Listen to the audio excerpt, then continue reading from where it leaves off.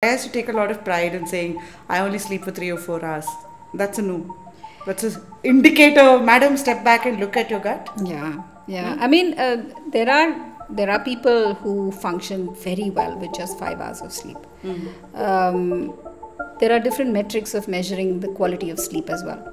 Um, not just on how much. So, sleep duration is one aspect, sleep quality is one aspect, sleep efficiency is another aspect. I can be in bed for 12 hours, but I fell asleep only maybe an hour, two hours after just lying around in bed, maybe looking at my phone.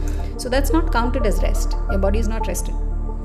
So, if you look at all these different aspects, if you have got really good quality sleep for five hours, and when you wake up in the morning, the body is energized, it's ready to go, that is an indicator that your body is doing well with five hours. It's not just one metric. So, if you have five hours of very disturbed sleep, intermittent awakenings, um, even bad dreams, nightmares, all that accounts for uh, indication that the gut also is not in order and your sleep is not helping you restore.